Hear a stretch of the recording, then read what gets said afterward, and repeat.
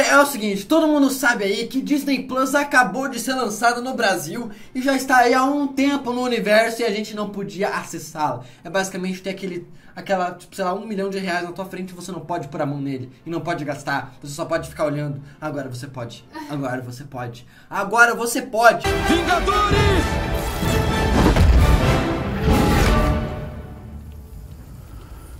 Avante! E no Disney Plus, não só tem todos os filmes do universo da Marvel lá, exceto pro Homem-Aranha 1 e 2, tem vários filmes para você assistir da Marvel, quase todos basicamente. E o mais interessante que a Disney Plus pode proporcionar pra gente é o seguinte: não só ter todos os filmes em 4K, tudo mais, não, não, não é só isso. Tem tudo o que tem nos Blu-rays, até mais. Até coisas que nem tinham nos Blu-rays como isso no caso são cenas épicas de Homem de Ferro 1 que foram deletadas, que nunca saíram na internet. Porque é o seguinte, quando a gente fazia vídeos aqui de cenas deletadas dos filmes, a gente mostrava o que acabava saindo no YouTube. Pessoas que compravam um Blu-ray, gravavam, botavam no YouTube e não tomavam strike pela Disney, pela Marvel.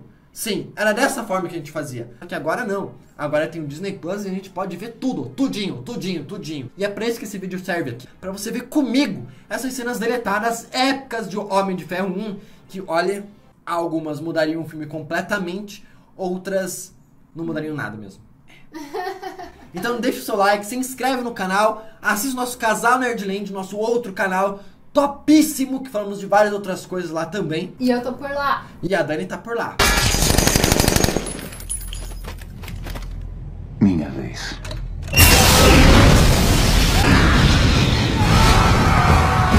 Começo do filme de Homem de Ferro 1, a gente sabe que o Tony Stark foi sequestrado pelos Dez Anéis lá no meio do deserto. Só que aí lá a gente consegue ver uma cena, uma versão estendida com cenas novas desse sequestro do Tony Stark que a gente nunca tinha visto antes. Nem mesmo na internet, cara. Então dá uma olhadinha aí, porque ia acrescentar coisas novas. Só que eu acho que tanto faz, tanto fez. Não fez tanta diferença assim. E eu acho que fez sentido tirar do filme para não ficar tão cansativo.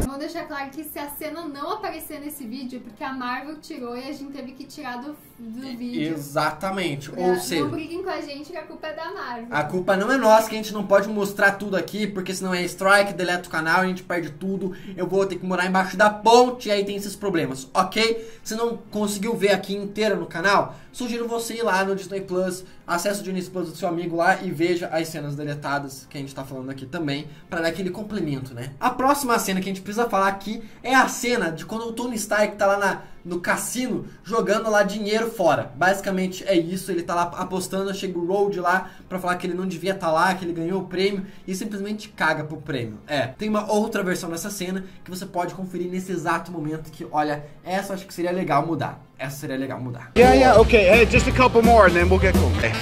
We're gonna double up right here. Fred. Three million dollars. I can't do that. Love in Black. Tommy, can we comp the room? Maybe some eggs? Agora, vamos para uma das cenas mais épicas que simplesmente ah, é o seguinte: se a Marvel colocasse essa cena excluída aí, e olha, ia, a- é, ia botar o Homem de Ferro em outro nível de filme que talvez não fosse bem visto pela Disney. Todo mundo sabe que quando o Homem de Ferro 1 foi lançado, não foi um filme tão Flaming Flames ali assim. Eles podiam fazer qualquer coisa com um filme e essa é uma pegada mais adulta. Tanto é que a desculpa pro Homem de Ferro ir para Dubai e enfrentar os terroristas como Homem de Ferro foi dar uma festa na sua casa em Dubai. E nessa festa, ele simplesmente acaba indo pro quarto com três mulheres e mais várias outras assim. Simplesmente chega um cara e oferece as mulheres pro Tony Stark como se fossem mercadorias. They, That's for you. for my This is for you. consideration? This is for you. I'm thinking of a number between one and five. Three. Exactly. Shall we?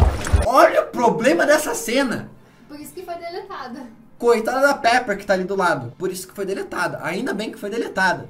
E é, ele vai lá com várias mulheres pro quarto. Problema, problemão. entirely comfortable with this, and I never have been. Hey, would you mind joining us briefly?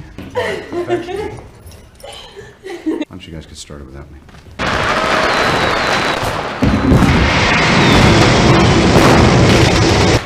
Também temos uma cena excluída ali do Obadiah Stane falando com os cientistas de que é o seguinte, falando que para criar ali, né, a, o monge de ferro, essa outra armadura do Tony Stark, para falar que meio que era um motivo mais nobre. And it's a gift that has been put in our hands. We have a vision. A vision for the future of this company, of this nation. Que não era pra fabricar armas, entendeu? Era meio que pra proteger os Estados Unidos e tudo mais. Uma desculpinha ali pra convencer a galera pra fazer o negócio. Because, make no mistake, this tool that you are creating in the wrong hands would end civilization as we know it. Think about what's at stake here. Só que é o seguinte, a próxima cena que a gente vai falar aqui é uma cena excluída, onde simplesmente é a Pepper abrindo esse quarto do Tony Stark pela manhã e o Tony Stark ali com a armadura do Homem de Ferro. E aí que ela descobre que o Tony Stark é o Homem de Ferro. Yeah.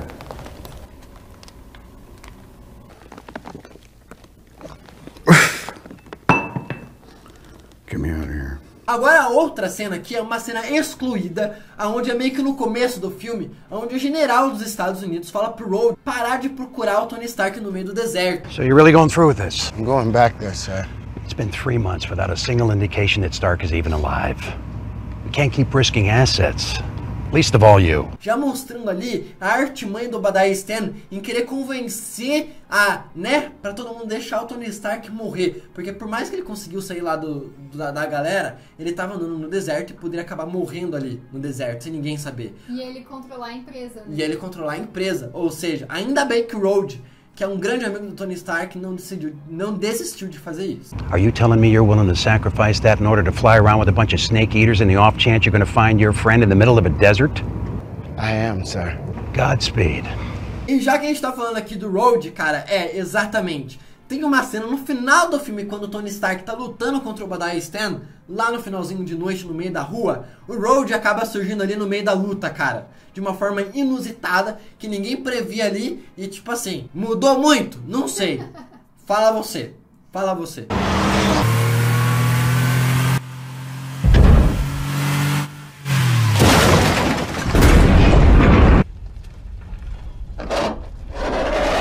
You gotta show off, huh? Did you flip it? No, I didn't flip it. You, why'd you have to rip the roof? Why didn't you just open up the door? You got a problem? I'm running out of cars. You could have said thank you. Só que uma coisa que mudou bastante foi a forma que o Tony Stark, o Homem de Ferro, acaba derrotando o Monge de Ferro. E como o Obadiah Stane acaba morrendo. Nessa outra versão aqui, nessa cena alternativa do final do filme, o Obadiah Stane acaba cambaleando e caindo em cima do reator. E ele acaba explodindo e morrendo.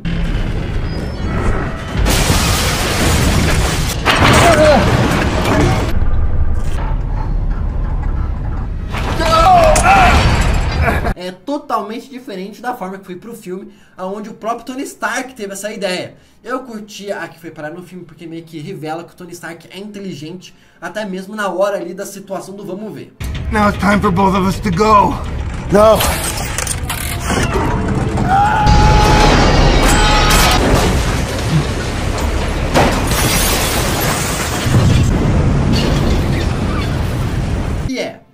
Stark, o filme de Homem de Ferro 1, ia ter muito mais cenas com mulheres, muito mais. Aonde no seu jatinho particular, Leak Road, ele acaba fazendo todas as mulheres ali dançando. Uma baladinha é, particular. Uma baladinha particular com as funcionárias da sua nave. Yeah, there's been a change over here. We're kind of we're loosening up. Where's my manners? Hello, Mr. Stark.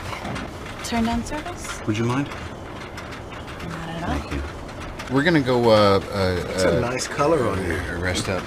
Basicamente, para ser funcionário do Tony Stark na época, tinha que fazer o serviço, além de é, outras coisas a mais.